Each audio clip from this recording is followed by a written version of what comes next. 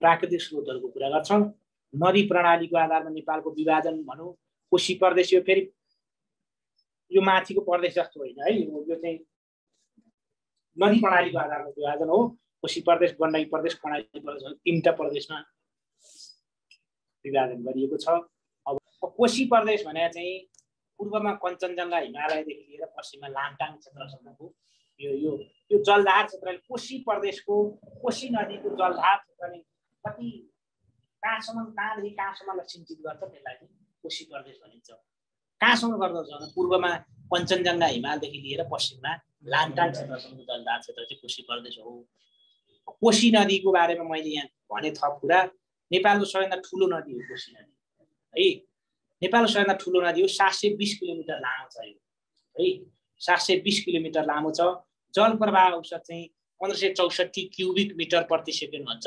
होइन? सहायक कोशीका सहायक नदीहरू अरुण तमोर सुनकोशी तामाकोशी इन्द्रावती सुनकोशी तामाकोशी इन्द्रावती अरुण लेखु र तमोर है? सप्तकोशी।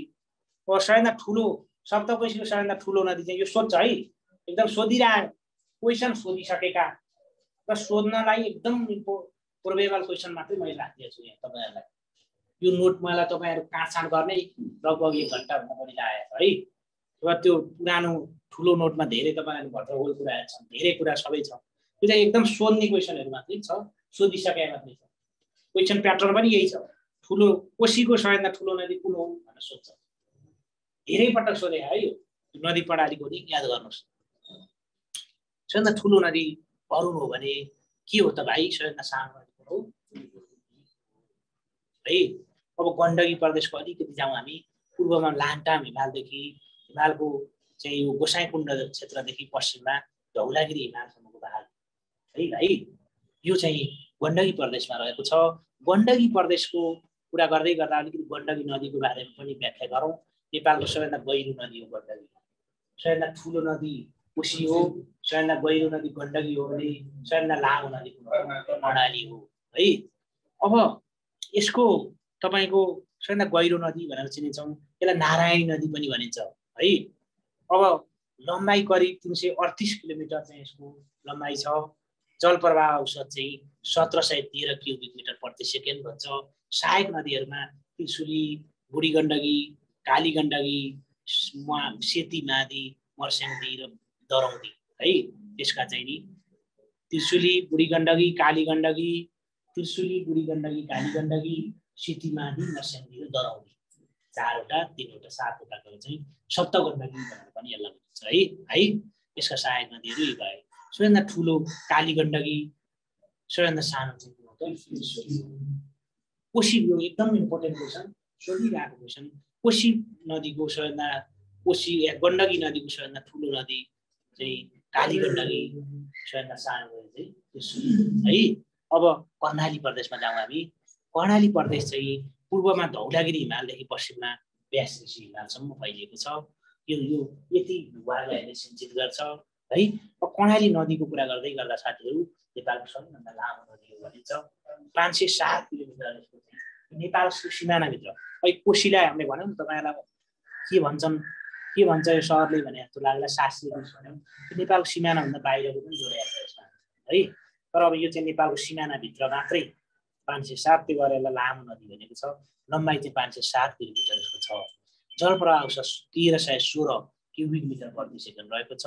सहायक नदीहरूमा यो ठुली सानी है बुढी होइन हुम्ला कडाली ठुली सानी बुढी ठुली भेरी सानी भेरी बुढी बुढी गङ्गा ठुली सानी बुढी हुम्ला कर्णाली मौ कर्णाली र तिला अनि ठुली सानी बुढी हुम्ला कर्णाली मौ कर्णाली यो चाहिँ साधो यसरी साथ त्यो सप्त कर्णालीको रूपमा पनि यसलाई चिनिन्छ अब तपाईँहरूले हेर्नै पर्छ साथीहरू हामीले के हेर्नुपर्छ भन्दाखेरि यो नेपालमा नदीको स्तर विभाजन नदीको नदी प्रणालीको आधारमा कुन स्तरका नदी सोधिन्छ कहिलेकाहीँ कुन यो नदी जस्तो तपाईँको रातो नदी कुन स्तरको नदीमा पर्छ? पहिलो स्तरका नदी भनेर चाहिँ हिमालमा मूल भएका बाह्रै महिना अटुट रूपमा पानी बग्ने कोसी गण्डकी र कर्णालीलाई चाहिँ पहिले हिमा हिम श्रृङ्खलाबाट प्रवाह हुने। है यिनीहरूको हिउँद बर्खा भन्ने हुँदैन। बर्खामा त बढ्ने त स्वत भइयो हिउँदमा पनि यिनीहरू निरन्तर रूपमा प्रवाह हुन्छन्। हिमालको हिउँ बग्लेर बग्छन् है पहिलो स्तरका नदीहरू। कोशी गण्डकी र कर्णाली पहिलो स्तरका नदी हुन्। दृष्ट स्तरका नदी भने महाभारत पर्वतमा मूल भएका मेची कन्काई मोहना कमला रापती बाणगङ्गा आदि नदीहरू यिनीहरू बर्खायाममा यो चाहिँ हिमालको हिउँबाट भन्दा पनि विशेष गरी बर्खायाममा ठुला हुन्छन् र हिउँमा साना एकदम सानो रूपमा चाहिँ यिनीहरू बग्छन्। तेस्रो स्तरका नदी भने चाहिँ चुरे पर्वतमाला मूल भएका मुनुसमारा बकैया रातु हर्दिना जस्ता नदीहरू यिनीहरू चाहिँ लगभग हिउँमा सुक्छन्। बर्खाको भेदमा मात्रै बग्छन्। यस्ता तेस्रो स्तरका नदी हुन्। है भोटमा मूल भएका नदी चाहिँ कुन कुन हुन् त? यो सोधमा सोधिरहेको क्वेसन हो। तिब्बतमा भोटमा मूल भएका चाहिँ नदीहरू भने सुनकोशी तामाकोशी अरुण तमोर त्रिशुली हुम्ला कर्णाली चाहिँ नि यो भोटमा नदी भएका मुहान भएका नदीहरू हुन्। उत्तर गङ्गा भन्नाले सानो भेरी नदीलाई जनाउँछ भने उत्तर बाहिनी भन्नाले कर्मनाशालाई जनाउँछ। उत्तरबाट नेपालको सबै नदीहरू उत्तरबाट दक्षिणबाट तिर बग्छन्। है? भाइ तपाईँलाई थाहा छ नि? नेपालको सबै नदीहरू उत्तरबाट दक्षिणतिर बग्छन्। तर यो कर्मनाशा नदीहरू चाहिँ दक्षिणबाट उत्तरतिर बग्छ है? कहाँ छ त यो नदी? हजुर? यो ललितपुरमा छ है। उत्तर गङ्गा भन्नाले सानो भेगलाई चिनिन्छ भने उत्तर बाहिनी भन्नाले चाहिँ कर्मनाशालाई चिनिन्छ एउटै नामले दुईतिर बग्ने नदी रापती हो। है? यो चाहिँ भने दक्षिणदेखि उत्तर बग्ने नदी चाहिँ कर्मनाशा हो भनिसक्यो। एउटै नामले दुईतिर बग्ने नदी चाहिँ रापती हो। अब साथीहरू यो नदी र तिनका उद्गम स्थलको मैले तपाईँहरूलाई अलिकति भन्छु है? यो सरलाई हेर्नुहोस् तपाईँले। एकदम क्वेसनमा सोधिरहेका कुराहरू मात्रै। धेरै सोधे। अधिकृत मासु खरिदार अरू अरू एक्जामहरूमा धेरै सोधे यो नदीको उद्गम स्थल है कालीगण्डकीको मुक्ताङले दरौलीको बुद्ध हिमाल बागमतीको बागद्वार त्रिशुलीको गोसाइकुण्ड मादीको अन्नपूर्ण हिमाल त्रिशुलीको गोसाइकुण्ड दोहोरियो मर्स्याङदीको दामोदर हिमाल कमरको कुम्भकर्ण हिमाल है विष्णुमतीको सपन तीर्थ विष्णुमतीको मुहान कहाँ हो भाइ तीर्थ हो नि त्यो भने बागमतीको कहाँ हो त राजद्वार हो कुरा बुझ्नुभयो नि सेती गण्डकीको अन्नपूर्ण हिमाल बुढी गण्डकीको गणेश हिमाल मेची नानीको चाहिँ लाली खर्क भने सेतीको चाहिँ सैपाल हिमाल। सेती पनि दुईवटा छन् सेती गण्डकी र सेती के त छुट्टा छुट्टै सैपाल हिमाल एउटा अन्नपूर्ण हिमाल छ। गण्डकीको सहायक नदी सेतीको चाहिँ अन्नपूर्ण हिमाल। अर्को सेती चाहिँ यो सुदूरपश्चिममा छ यो सैपाल हिमाल प्रमुख नदी र तिनको पौराणिक नाम भन्छ यो नि सोधिरहेको हुन्छ। अरुणलाई महाप्रभा भनिन्छ दरौदीलाई विश्वधारा भनिन्छ इन्दावतीलाई सत्यवती भनिन्छ वर्ष्याङदीलाई सिद्धप्रभा भनिन्छ प्रणाली पञ्चेश्वरी भनिन्छ धोबी खोलालाई रुद्रमती भनिन्छ टुकुचालाई इच्छुमती भनिन्छ भने त्रिशुलिया कर्णधारा र बुढी गण्डीलाई यशोधारा भन्छ। यसका पौराणिक नाम चाहिँ त्यो पुरानो यो प्राचीन नाम चाहिँ यसको। पुराणमा उल्लेख गरिएको नाम चाहिँ। भारतमा पुगेपछि कुन नदीलाई के भनिन्छ भन्ने कुरा नि मैले तपाईँहरूलाई यहाँ राखेँ भारतमा पुगेपछि कोशीलाई दामोदर भनिन्छ। भाइ कोशीलाई दामोदर भनिन्छ भने उसलाई चाहिँ के भनिन्छ भन्दा कन्काईलाई के भनिरहेछ कन्काईलाई बिरिङ्ग भनिरहेछ कर्णालीलाई घागरा भनिरहेछ कर्णालीलाई घागरा भन्छ भने मेचीलाई महानन्दा भनिन्छ। मेचीलाई महानन्दा भनिन्छ महाकालीलाई शारदा भनिन्छ बबईलाई अब नेपालमा खनिजहरू कुन खनिज हो एकदम सोधिरहन सक्छ तपाईँहरूलाई सोध्छ सोध्दै होइन तपाईँ एकदम सोधिरहेको क्वेसन हो सुब्बाहरूमा अफिसरहरूमा सोधिरहेको छ है कुन कुन खनिज कहाँ पाइन्छ भनेर नेपालमा अग्र डर ठाउँमा पाइन्छ होइन अनि नेपालमा कोइला चितवन जिल्लामा पाइन्छ चतरामा पाइन्छ यो सही कि गलत भनेर सोध्छ है। त्यो भएर यो कुरा चाहिँ नि कोइला कहाँ पाइन्छ? चितवन चतरा सल्यान ताम काठमाडौँमा कोइला पाइँदैछ। चाहिँ बदाम भोजपुर लमजुङ गोसाइकुण्ड सुन्दरी जल ज्यामिरी सुन्दरी गढीमा पाइँदैछ। है चुनढुङ्गा त्यसमा पाइन्छ चोबा भैँसे दुवान भेटौँडा गोदावरी। त्यो कुरा मैले राखिदिएको छु तपाईँलाई। सर हेर्नुहोस् है। मार्बल गोदावरी क्षेत्रमा पाइन्छ। बन्दक चिसा पानी गोसाइकुण्ड बरा क्षेत्रमा पाइन्छ। है। त्यो अहिले सिसा चाहिँ कहाँ पाइँदैछ त भाइ? सिसा कहाँ पाइँदैछ भन्नुहोस् त। सिसा चाहिँ गणेश हिमाल फुलचोकी मार्फा बैतडी गलकुट यो ठाउँ पाइँदैछ। यसरी यो सर र तपाईँहरूले के यो अलिअलि हेर्नुहोस्। यो एक्जाममा सोधिहाल्यो भने चाहिँ मिलाउनु नसक्ने सर र हेर्दा त्यो अप्सन देख्दाखेरि मिल्ने खालको भएर जान पर्यो सबै कण्ठ त गर्न सकिँदैन अब यो नेपालका भन्याङहरू भनौँ कुन कुन भन्याङ कहाँ पर्छन् भन्दा कुपट्टिको भन्याङ सभा लार्के भन्ने गोर्खा यो सोधिरहेको हुन्छ। काबुकाटी भन्ने ताप्लेजुङ यो टिङ्कर भन्ने दार्चुला साङ्ला भन्ने हुन्दा ग्याला भन्ने गोर्खा यसरी यतापट्टि डाङ्जा उरै यारी पूर्वी याचु टिकताल मैले यसरी यो राखिदिएको छु। अब यहाँ अब कुन स्थान कुन जिल्लामा पर्छ भनौँ यो कुरा पनि तपाईँले जान्न काँक्री बिहा कहाँ पर्छ भन्दा सुर्खेत भलेसिन आले कहाँ पर्छ भाइ? मोटाङमा पर्छ। त्यो भने पनौती कहाँ पर्छ त? कालिम्चोक कहाँ पर्छ त? कालिम्चोक दोलखामा पर्छ है? अनि यो मोहन तीर्थ भन्ने ठाउँ कहाँ पर्छ भाइ? हजुर। अस्ति पढ्न आउनु भएको थियो थिएन मोहन तीर्थ कहाँ पर्छ? मन्दिर छ भने चाहिँ शाहले चाहिँ व्यवसान प्राप्त गरेको देवी घाट मन्दिर तपाईँले भन्छ है। अनि अब देवी घाट कहाँ पर्छ? देवी घाट कहाँ पर्छ तपाईँ देवघाट कहाँ पर्छ?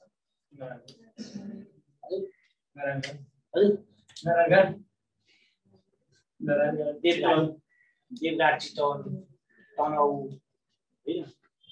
र कुन जिल्लाको गोर्खाहरूलाई तिनवटा जिल्लाको सिमानामा पर्छ देवघाट यो प्रसिद्ध तीर्थस्थल हो। रक्तकाली मन्दिर सुनसरीमा पर्छ पनौती काभ्रेमा पर्छ है? यी कुराहरू हेर्ने। स्वर्गद्वारी प्युठानमा पर्छ सिद्ध पोखरी रूपन्देही पर्छ। अब यहाँ एकदम विशेष कुरा तपाईँहरूलाई आउँदैछ यो के आउँदैछ भन्दा यो हावापानीको आधारमा नेपालको विभाजन भन्ने कुरा चाहिँ म तपाईँहरूलाई गर्दैछु है? नेपाललाई हावापानीको आधारमा पाँचवटा उसमा विभाजन गरिएको छ। पाँचवटा हावापानीको प्रदेशको आधारमा विभाजन गरिएको छ। उष्ण मनसुनी हावापानी न्यानो समशीतोष्ण हावापानी ठन्डा समशीतोष्ण हावापानी लेकाली हावापानी र यो टुन्ड्रा हावापानी भन्छ हिमाली हावापानी। यसलाई टुन्ड्रा पनि भन्छ हिमाली हावापानी भनेर पाँचवटा छ। यो नेपालको तराई भागर भित्री मधेस र चुरे पहाडको बाह्र सय मिटरसम्ममा यस प्रकारको हावापानी पाइन्छ। यो उष्ण मनसुनी हावापानी। है? यो ग्रीष्ममा अडतिसदेखि बयालिस डिग्रीसम्म पुग्छ तापमान भने हिउँदमा चाहिँ पन्ध्रदेखि पाँच डिग्री सेल्सियससम्म ओर्लिन्छ। मनसुनी हावाबाट ग्रीष्ममा दुई सय मिलिलिटरसम्म वर्षा हुन्छ। त्यो हावा पनि गर्मी ओसिलो भएकाले स्वास्थ्यको लागि त्यति फाइदाजनक नभए पनि खेतीपातीको लागि पनि उपयोग गर्छ विशेष गरी तराई प्रदेशमा यो चाहिँ बाह्र सय मिटरको उचाइसम्म हावापानी पाइन्छ है। है तराई र पाहाडको पनि केही विभाग न्यानो समशीतोष्ण हावापानी भने चाहिँ बाह्र सयदेखि एक्काइस सय मिटरसम्मको क्षेत्रमा पाइन्छ। यो बस्नको लागि यो उपयुक्त हावापानीको रूपमा लिइन्छ मानव बसोबासको लागि। ग्रीष्ममा दिनमा न्यानो दिन लामो हुन्छ भने होइन? हिउँदमा चाहिँ छोटो र ठन्डा हुन्छ। यहाँको तापक्रम ग्रीष्ममा पन्ध्र डिग्री सेल्सियस पुग्छ हिउँदमा पाँच डिग्री सेल्सियसभन्दा कम हुन्छ। उत्तरी क्षेत्रमा सय सेन्टिमिटरसम्म वर्षा हुन्छ। है? यो आयो। यो ठन्डा समस्या हावापानी भने चाहिँ यो यस प्रकारको हावापानी महाभारत पर्वतमा विशेष गरी बा एक्काइस सयदेखि तेत्तिस सय पचास मिटरसम्म है नागर प्रदेशमा पाइनेछ यस क्षेत्रमा ग्रीष्ममा तापमान दस डिग्री सेल्सियसदेखि पन्ध्र डिग्री सेल्सियसमा पुग्छ भने हिउँदमा जेरो डिग्री सेल्सियसभन्दा कम हुन्छ। वर्षा चाहिँ पचास सेन्टिमिटरभन्दा कम हुन्छ यसमा। भने लेकाली हावापानी चाहिँ तेत्तिस सय पचासदेखि पाँच हजार मिटरसम्मको हावापानी हो। भाइ निन्द्रा लगायो निन्द्रा लगाएर भन्नुहोस् है। निन्द्रा निन्द्रा लगाएर पढिने नि होइन? अब तेत्तिस सय पचासदेखि पा पाँच हजार मिटरसम्मको उचाइमा लेकाली हावापानी पाइन्छ भने वर्षभरि करिब करिब तिस सेन्टिमिटर मात्रै वर्षा हुन्छ। चैत वैशाख जेठमा तापक्रम दस डिग्री सेल्सियस पुग्छ भने अन्य समयमा चाहिँ जेरो डिग्री सेल्सियसमा कम हुन्छ भनेर भन्यो। लेकाली हावापानी चाहिँ यो पाँच हजार मिटरभन्दा माथिको विशेष गरी यो मुख्य हिमालय क्षेत्रमा पाइने हावापानी हो। यो वर्षैभरि हिउँ पर्ने हुँदा यसमा अत्यन्त जाडो हुन्छ नेपाली हावापानीमा यहाँ वर्षा हुँदैन हिमकाटको माध्यमबाटै यो चाहिँ यहाँको ऊ हुन्छ। वर्षाको रूपमा हिउँको रूपमा वर्षा हुन्छ। तापमान जेरो डिग्री सेल्सियसभन्दा कम हुन्छ है यो भाग अब नेपालको माटोको विषयमा कुरा गर्दै गर्दा माटो पनि पाँच प्रकारका माटो छ है। यो हावापानीको कुरा मैले गरेँ नि हावापानीलाई एकदम ध्यान दिनु। माटो पनि पाँच प्रकारकै छन्। के के छन् त भन्दा पागो माटो तलैया माटो रातो फुस्रो माटो बलौटी पत्थरिलो माटो हिमाली माटो है। मैले यहाँ भने पागो माटो भने तराईको फाँट र नदी किनार पाइने वर्षामा नदीले बगाएर ल्याइ थुपारेको माटो बालुवा ढाडपात कुहिएको ढाडपात मिलेर बनेको हुन्छ। धान तेलहरूको लागि उपयुक्त हुन्छ। है त्यो माटोबाट पनि सोधिरहेको है क्वेसन तपाईँले एकदम यसलाई ध्यान दिनु। तलैया माटो चाहिँ त्यो ताल सुकेर बनेको माटो उपत्यकाहरूको माटो। विशेष गरी कालो मलिलो होइन? काठमाडौँको माटो कस्तो छ? कालो छ है? कालो मलिलो टाइपको ताल सुकेर बनेको त्यो खनिज पदार्थहरू प्रशस्त मात्रामा पाइने माटो हो। यो कृषि उत्पादनको लागि अत्यन्तै उपयुक्त माटो हो है तलाई माटो। अब बलौटे पत्थरिलो माटो भने भावर प्रदेशभित्र यो यो अहिले नदीहरू नै त्यहाँ भावरमा बिलाउँछन् भने त्यस्ता गेगरहरू मिसिएको है नदीले बगाएर ल्याएको बालुवा कङ्कड पत्थर मिलेर बनेको माटो। यसमा यो रुख बिरुवाहरू बडा प्रकारका रुख बिरुवाहरू साल सिसौ यस्तो बढी हुन्छ। खेतीपाती चाहिँ यो माटोमा अलिक फस्टाउँदैन है यो कुरालाई याद गर्नुहोस्। खेतीपाती यसको कमै हुन्छ। अब हिमाली माटो भने चाहिँ हिम नदीले बगाइ थुपारेको बालुवा कङ्कड पत्थर मिलेर हिम नदीका किनारहरूमा रहेको माटो हिम हिमाली उपत्यकाहरूमा रहेको माटो यो चाहिँ के हो त? हिमाली माटो हो या यो चाहिँ तपाईँको यसको खेतीपातीको हिसाबले विशेष गरी आलु फापर चौ होइन? यस्ता कुराहरू चाहिँ हिमाली माटो हुन्छ। अब तपाईँलाई यो नेपालमा पाइने विमानस्थल नेपालमा रहेका विमानस्थल र ती पर्ने जिल्लाहरू भनेर मैले राखिदिएको छु। मसिने चौर जुफाल सबैभन्दा बढी विमानस्थल भएको जिल्ला कुन हो नेपालमा? सुलुखुम्बु सुलुखुम्बुमा कुन कुन विमानस्थल छन् त? भन्नुहोस् त। डुक्ला स्याङबोचे फाप्लु काङ्गेल होइन? डुक्ला स्याङबोचे फाप्लु काङ्गेल है? अब मसिने चौर जुफाल विमानस्थल डोल्पामा पर्छ पालुङटार गोर्खामा पर्छ तालचा विमानस्थल मुगुमा पर्छ तुमलिङटार सङ्खुवासमा पर्छ है? तुमलिङटार सङ्खुवासमा पर्छ गुन्जाटार ओखलढुङ्गामा पर्छ गेटा विमानस्थल पहिलाजीमा पर्छ यो स्याङबोचे यो शुक्ला लाख फाप्लु डुक्ला काँगे डाँडा मैले सुलुकुम्बु भनिसकेँ सिद्धार्थ गौतम भैरवमा पर्छ है? अब सुकेटार विमानस्थल चाहिँ ताप्लेजुङमा पर्छ। नेपालका तालहरू भनौँ हेर्नुहोस् ताल कति छ। अब सबैभन्दा तालको जिल्ला भनेर कुन जिल्लालाई चिनिन्छ? काशीलाई चिनिन्छ। फेवा ताल रूपा ताल बेनास ताल मैली ताल दिपाङ ताल खास्टे ताल स्यार्कु ताल यो फेवा यो चाहिँ कास्किटा जिल्लामा पर्छ भने अरू छोरोल्पा ताल कहाँ पर्छ भाइ? छोरोल्पा ताल दोलखामा पर्छ। अब छोरोल्पा ताल दोलखामा पर्छ भने सत्यवती ताल कहाँ पर्छ त सत्यवती ताल पाल्पामा पर्छ। हो? सत्यवती ताल पाल्पामा पर्छ गोसाइकुण्ड कहाँ पर्छ।